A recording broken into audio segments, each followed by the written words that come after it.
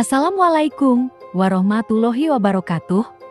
Volimania, laga Super Big Match akan tersaji pada pekan ke-14 Sultan Lar Ligue 2022-2023. Aksasi Basi dan Nafit akan menghadapi Fenerbahce dalam derby Istanbul jilid kedua Sultan Lar Ligi musim ini.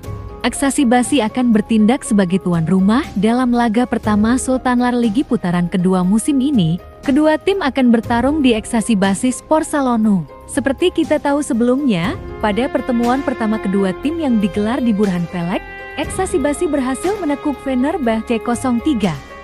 Dalam lima pertandingan terakhir di berbagai kompetisi, Eksasi Basi selalu bisa menuntaskan laga mereka dengan kemenangan. Aksasi Basi menang 0-3 dari Maritza Plovdiv dalam gelaran CFV Champions League pada 20 Desember 2022.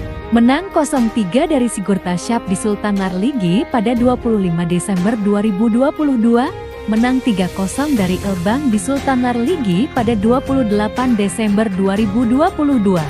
Lalu menang 3-0 dari Bolu Sport di Sultan Lar Ligi pada 6 Januari 2023 dan yang terbaru, mereka menang 3-1 dari Cemik Polis di CEV Champions League.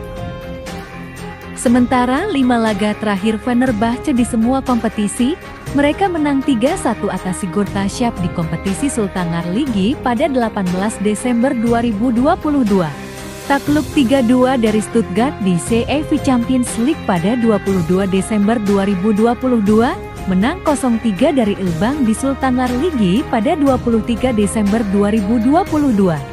Kemudian Fenerbahce menang 2-3 dari Tak Havayolari di Sultan Lar Ligi pada 28 Desember 2022.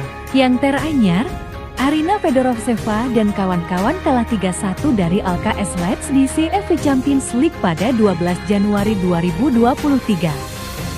Dalam lima pertemuan terakhir kedua tim di semua kompetisi, Fenerbahce sedikit lebih unggul dari Eksasi Basi. Pada 19 Maret 2022 di Sultan Lar Ligi, Fenerbahce mengungguli Eksasi Basi 3-0. Kemudian pada 15 April 2022 dalam gelaran Turkish Cup, Fenerbahce menang 0-3.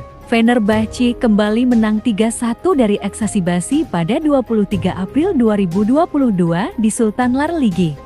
Aksasi Basi kembali harus kalah 0-3 dari Fenerbahce di semifinal Sultan Lar Ligi yang berlangsung pada 26 April 2022 dan Aksasi Basi bisa menang 0-3 dari Fenerbahce pada putaran pertama Sultan Lar Ligi musim ini. Tepatnya pada tanggal 2 November 2022 lalu.